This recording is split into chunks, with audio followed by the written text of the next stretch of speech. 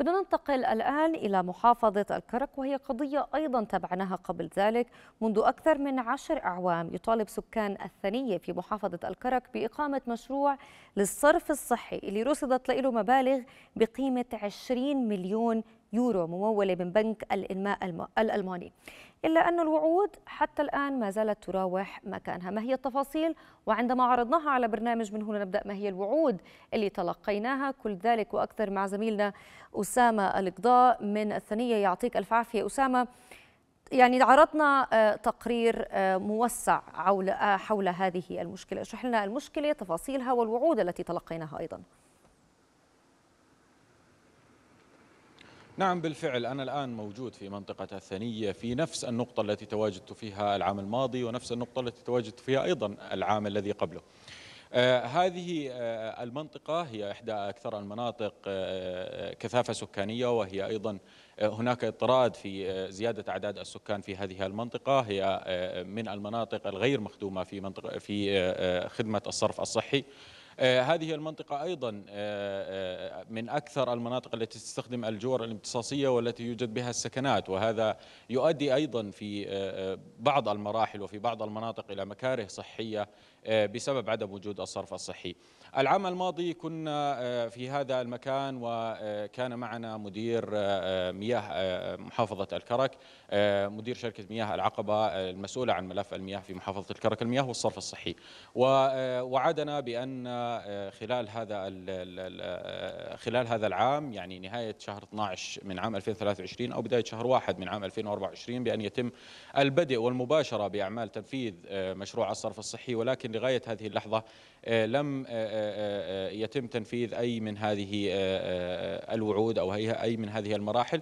طبعا مشروع الصرف الصحي هو مشروع يقسم إلى مرحلتين سبع محطات رفع في المرحلة الأولى تضم منطقة مناطق الثانية والمنشية والمرحلة الثانية مناطق محطات رفع أخرى تضم المناطق المحيطة من أدر والغوير وغيرها وبعض مناطق المرج.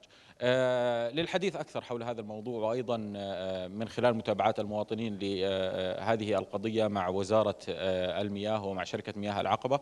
ينضم إلي الأستاذ سليمان الصعوب وهو أحد أعضاء اللجنة الشعبية في محافظة الكرك. تفضل عند أستاذ سليمان. يعطيك العافية سيدي. الله يعافيك سيدي. أهلا وسهلا فيك. سيدي تحدثنا عن آخر المتابعات التي تمت ما بينكم وما بين وزارة المياه وشركة مياه العقبة. الله يعطيك العافية. بداية أنا بتوجه بالشكر لقناة رؤيا لمتابعتها لجميع مشاكل المواطنين في جميع محافظات المملكة. ومن هذه المشاكل اللي هي مشكلة الصرف الصحي في محافظة الكرك. يعني موضوع الصرف الصحي أصبح الآن حلم لكل الكركية. آه، إحنا من خلال جمعية مشع المؤابي قمنا بحملة مناصرة وكسب تأييد لموضوع الصرف الصحي. وكان معنا يعني سعادة النائب أحمد القطاونة وإن حوالي السنة بنتابع في موضوع اللي هو الصرف الصحي. وخلال هذه السنة كل ما حصلنا عليه هو عبارة عن وعود بتنفيذ المشروع. يعني أول وعد أخذناه كان على أساس أنه بشهر 12 ل 2024 شهر 1 12 أنه ينزل العطاء لكن لم يتم آه، طرح العطاء. ومن ثم تواصلنا مع المسؤولين مع الأمين العام لوزارة المياه ومع آه، معالي وزير المياه ومع المهندس المسؤول عن الصرف الصحي في الوزارة. وكل ما حصلنا عليه هو عبارة عن وعود. آه الآن هي عبارة تظهر أنها عبارة عن حجج من قبل الوزارة أنه هنالك بعض الاعتراضات على موضوع الصرف الصحي أو اللي هي محطة الرفع الموجودة في منطقة زحوم. يا سيدي قانونيا قانونيا آه، القانون بيقول على المتضرر أن يلجأ إلى القضاء. هذا مشروع بيخدم المواطنين كافة. ما بوقف على شخص ولا شخصين. أنت شخص متضرر تلجأ إلى القضاء. لكن لا تكون حجة للوزارة أنه تحطها عقبة أمام تنفيذ هذا المشروع. هذا المشروع بيخدم كل الكرك. ونسبة التغطية الصرف الصحي في محافظة الكرك هي 10% فقط من المحافظة. يعني أقل محافظة في المملكة كلها. فإحنا مش عارفين شو هي الأسباب اللي أدت إلى أنه تأجيل طرح هذا العطاء. كل مرة بعطونا حجة مختلفة. ما إحدى الحجج بقول لك أنه المانح آه ما بده أي اعتراضات في المشروع. يا سيدي أنت قدم للمانح المشروع بدون أي اعتراضات وأي اعتراض اعتراضات بتظهر أو أي قضايا استملاك تتكفل فيها الوزارة. يعني حتى إنه يعني قانونا بالدستور الدستور بيقول لك في نص المادة 11 إنه لا يجوز نزع ملكية أي مواطن إلا للمصلحة العامة.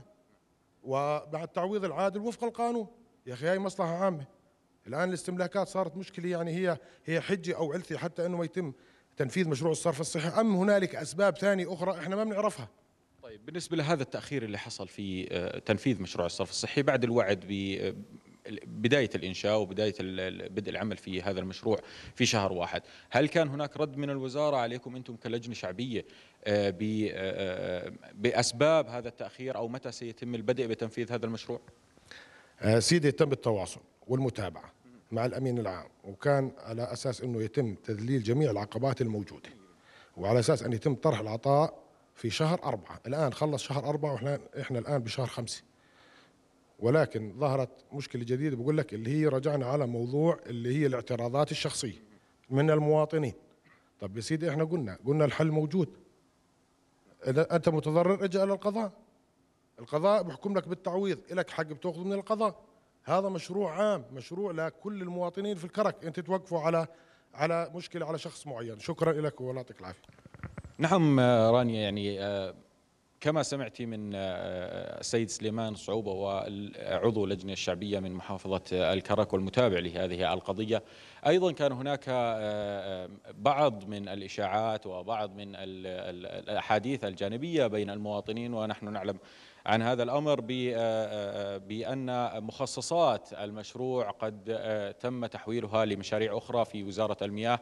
نظرا لتعثر هذا المشروع والذي تعثر أيضا بسبب اعتراضات من بعض المواطنين في ال- في الأعوام السابقة ونحن الآن نسمع بأن هذا المشروع أيضا يتعثر هذه السنة بسبب اعتراضات أخرى ودون تقديم المصلحة العامة على هذا آه، الأمر. آه، نريد تأكيد من الوزارة هنا آه، المواطنين يطالبون بتأكيد من الوزارة بالحفاظ على مخصصات مخصصات مشروع الصرف الصحي لمحافظة الكرك. كل الشكر لك مراسلنا أسامة الإقضاء كنت معنا من الثانية من الكرك وننتقل مباشرة إلى المهندس رشاد العضايلي وهو مدير مياه محافظة الكرك. يعطيك ألف عافية بداية مهندس. الله يعافيك اخت رانيا ومساء الخير لك ومساء الخير للأخوة المشاهدين جميعا. أهلا بك. يعني آه، لربما هناك أسئلة حول مشروع الصرف الصحي في الكرك. هل يواجه اليوم عثرات؟ وما هي التحديات أمامكم لتنفيذه؟ آه، نعم آه، اخت رانيا ال- الحقيقة نسبة ال- الإشغال في الصرف الصحي لمناطق الكرك مثل ما تفضل الأستاذ سليمان هي 11% وليس 10% يعني تقريبا نسبة مقاربة 11% من مناطق الكرك مشمولة بالصرف الصحي. طبعا منطقه الثانية هاي من أكثر المناطق اكتظاظا في ال- الكرك وهي الأكثر حاجة لمشروع الصرف الصحي. آه، قبل فترة فعلا ارتفض 18 مليون يورو من ال KfW من بنك الإنماء الألماني لتنفيذ آه، حزم للصرف الصحي في هذه المنطقة. الآن آه، تعرضت المنطقة طبعا بعد ما حددوا مواقع محطات الرفع والجاري العمل بالاستملاكات صار في اعتراضات من بعض المواطنين على هاي المحطات اللي هي محطة رفع رقم أربعة PS 4 و PS 6 هاي تم الاعتراض عليها من قبل الأهالي، طبعا مثل ما برضه كمان الأستاذ سليمان تفضل. الآن إحنا في مدة قانونية للإعلان عن الاستملاكات بتتم وبتم بعدها الاعتراضات وبنبدأ إحنا في تنفيذ المادة 11 من الدستور اللي هي الاستملاكات لل- للمنفعة العامة.